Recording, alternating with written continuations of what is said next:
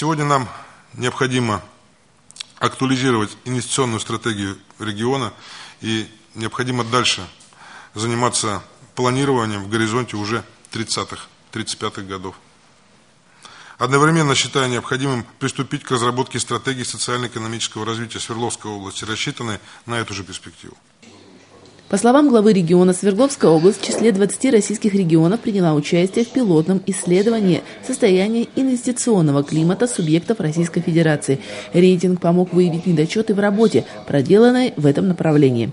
Регион получил положительную оценку по направлению инфраструктуры и ресурсы, показав хорошие результаты по доступности земельных ресурсов, качеству и доступности финансовой поддержки инвесторов, а также по качеству территориального планирования и зонирования.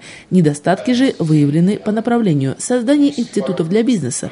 И по мнению Евгения Куйвышева, это недопустимый результат для такого региона, как Свердловская область. Губернатор поручил областному правительству изучить итоги рейтинга. В том случае, если региону дана правильная оценка, необходимо формировать рабочую группу, рассмотреть все проблемные показатели и разработать соответствующие дорожные карты для кардинального улучшения ситуации. Эту работу поручено курировать областному премьеру Денису Паслеру.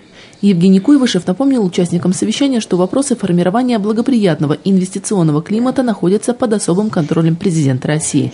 При этом губернатор отметил, что не все показатели инвестиционной деятельности находятся в ведении региональной или местной власти. Например, процедура регистрации предприятий регламентирована федеральными нормативными актами. Тем не менее, в Свердловской области, чтобы зарегистрировать предприятие, нужно в среднем потратить 19 дней, не самый короткий срок. О чем это говорит? О том, что взаимодействие региональных органов исполнительной власти с федеральными органами государственной власти не налажено. И совместная работа по совершенствованию процедур регистрации предприятий должным образом не организована. Считаю необходимым ответственным исполнительным органам власти Свердловской области провести работу по повышению эффективности межведомственного взаимодействия.